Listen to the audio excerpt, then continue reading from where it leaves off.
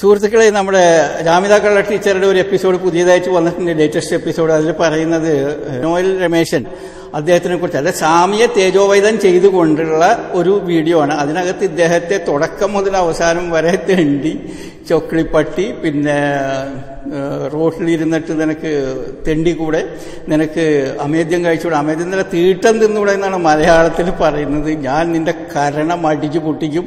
തനിക്കിട്ട് മോന്തക്കിട്ട് രണ്ട് പൊട്ടിക്കാൻ എന്റെ കൈ തരിച്ചിട്ട് നാളുകളായി.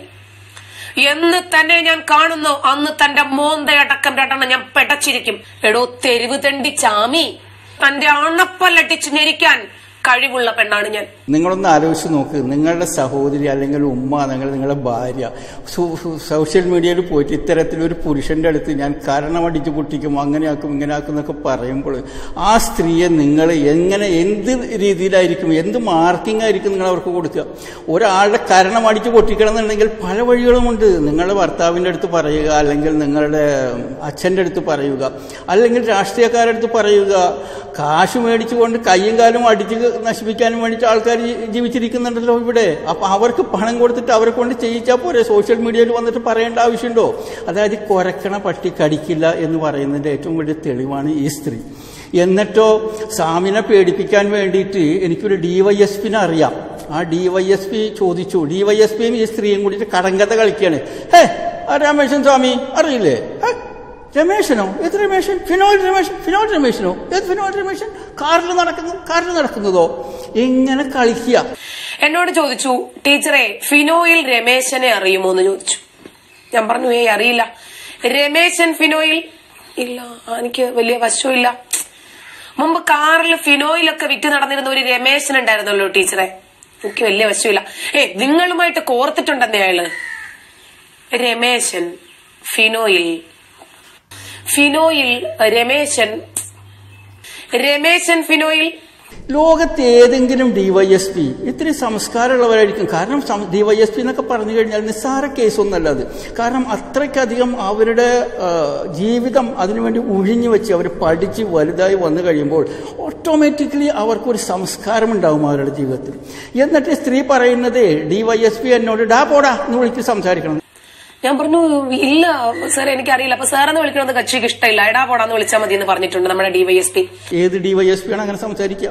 യഥാർത്ഥത്തിൽ കാശ് കൊടുക്കാതെ ഡിഗ്രി വാങ്ങിക്കാതെ പഠിച്ച് പഠിച്ചിട്ടുള്ള ഒരു ഡിവൈഎസ്പിയും എടാ പോടാന്ന് വിളിക്കാൻ അവർ പ്രചോദിപ്പിക്കില്ല.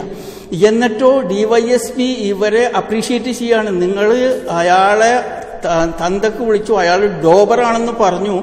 അയാളുടെ അമ്മ അൽസേഷനാണെന്നും പറഞ്ഞു. നിങ്ങൾ എത്ര മറുപടി കൊടുത്തിട്ടുണ്ട്? നിങ്ങൾ നല്ല ഉരുളക്കുപ്പേരി പോലെ അയാളുടെ മുഖമടച്ച് രണ്ടെണ്ണം കൊടുത്തില്ലേ?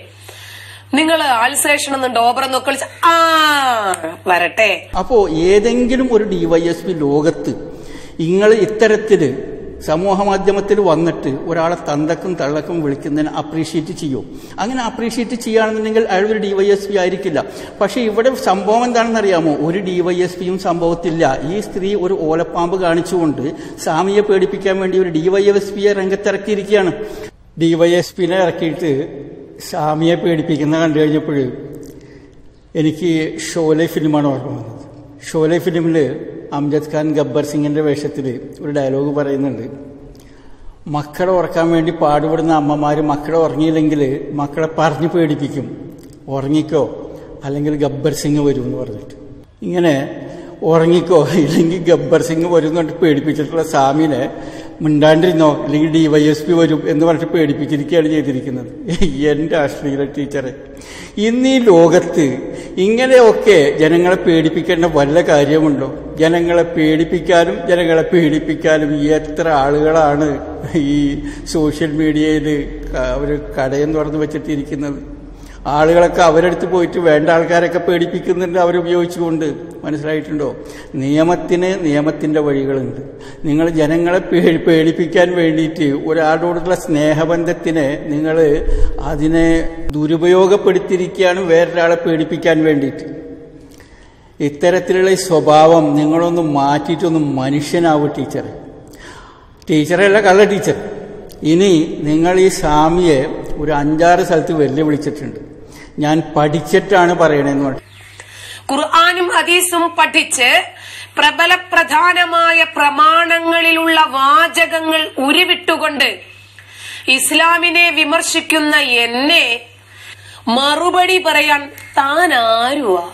താൻ മതം പഠിച്ചിട്ടുണ്ടോടോ? മതഗ്രന്ഥങ്ങൾ പഠിച്ചിട്ടുണ്ടോടോ? ഞാൻ പഠിച്ചിട്ടാണ് വിമർശിക്കുന്നത്. ഞാൻ പഠിച്ചിട്ടാണ് വിമർശിക്കുന്നത്. ഞാൻ പഠിച്ചിട്ടാണ് വിമർശിക്കുന്നത്. നിങ്ങൾക്ക് എന്ത് പഠിപ്പുണ്ട്? ഇസ്ലാമിനെ കുറിച്ച് വല്ല എ ബി സി ഡി അറിയോ? നിങ്ങൾ എന്റെ ചാനലിൽ വരൂ. ആദ്യത്തെ എന്റെ രണ്ട് വീഡിയോക്ക് നിങ്ങൾ മറുപടി പറഞ്ഞല്ലോ. എന്നിട്ട് പിന്നെ മിണ്ടാണ്ടിരുന്നില്ലേ ഇതാ എന്റെ വീഡിയോ എന്റെ ചാനലിന്റെ അകത്ത് പതിനഞ്ചോളം വീഡിയോകൾ നിങ്ങൾക്ക് വേണ്ടി ചെയ്തു വെച്ചിട്ടുണ്ട്. നിങ്ങൾ ചെയ്തിട്ടുള്ള വീഡിയോയുടെ മറുപടി ആവശ്യപ്പെട്ടുകൊണ്ട് പതിനഞ്ചോളം വീഡിയോകളുണ്ട്. ആ പതിനഞ്ച് വീഡിയോക്ക് നിങ്ങൾ ആദ്യം മറുപടി പറയും. എന്നിട്ട് ചലഞ്ച് ചെയ്യും. ആ പതിനഞ്ച് ഓരോ മറുപടിക്കും ഓരോ ലക്ഷം രൂപ പ്രതിഫലവുമുണ്ട് നിങ്ങൾക്ക്. അത് നിങ്ങൾ മനസ്സിലാക്കുക. ഒന്നാമതായിട്ട്. പിന്നെ രണ്ടാമതായിട്ട് ഈ കാശ് വീഡിയോ യൂട്യൂബിന്റെ പൈസ കിട്ടാൻ വേണ്ടി സ്വാമി ചെയ്യുന്നു നിങ്ങൾ പറയുന്നുണ്ടോ? നിങ്ങളാരാ? ഈ സ്വന്തം കാൽ കുളത്തിലിറങ്ങി എന്നിട്ട് സ്വന്തം കാൽ മന്തുകാൽ വെള്ളത്തിൽ വെച്ചിട്ട് കരയിൽ കൂടി പോകുന്ന മന്ദില്ലാത്ത ആൾക്കാരെ മന്താന്ന് വിളിക്കുന്ന പ്രവണതയാണ് നിങ്ങൾ ചെയ്തുകൊണ്ടിരിക്കുന്നത്. മനസ്സിലായിട്ടുണ്ടോ? നിങ്ങൾക്കും യൂട്യൂബിന്റെ പൈസക്ക് നക്കാപ്പിച്ചക്ക് വേണ്ടിയിട്ടല്ലേ നിങ്ങൾ വീഡിയോ ഉണ്ടാക്കുന്നത്. നിങ്ങൾക്ക് വല്ല ജോലിയുണ്ടോ? എന്തെങ്കിലും ഒരു ജോലി ചെയ്ത് ജീവിച്ചൂടെ നിങ്ങൾക്ക് ഈ തരത്തിലുള്ള ഈ വൃത്തികെട്ടിട്ടുള്ള ഈ ഇടപാട് കൊണ്ട്? എന്ന് പറയുന്നത് നല്ല കാര്യങ്ങൾ പറയും. ഇസ്ലാമിനെ വിമർശിക്ക് വിരോധമില്ല ഇസ്ലാമിലുള്ളത് പറയും. ഇസ്ലാമിലില്ലാത്ത കാര്യങ്ങൾ വിമർശിച്ചിട്ടുള്ളതിനെ കുറിച്ചിട്ടുള്ള പതിനഞ്ച് വീഡിയോകളോളം വീഡിയോകൾ ഞാൻ ഇറക്കി വെച്ചിട്ട് മറുപടി പറയും. ധൈര്യമുണ്ടോ നിങ്ങൾക്ക്? നിങ്ങൾ എത്ര ഉഷാറോട് കൂടിയിട്ടാണ് സ്വാമിയെ മറ്റുള്ളവരൊക്കെ ചലഞ്ച് ചെയ്യുന്നത്? എനിക്ക് മറുപടി പറയൂ നിങ്ങൾ. മനസ്സിലായിട്ടുണ്ടോ?